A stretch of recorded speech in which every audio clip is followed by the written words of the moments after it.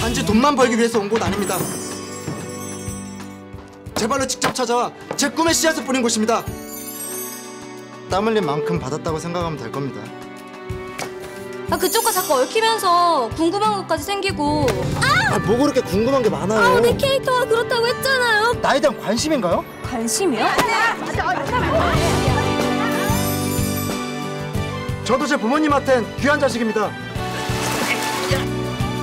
아, 엄마!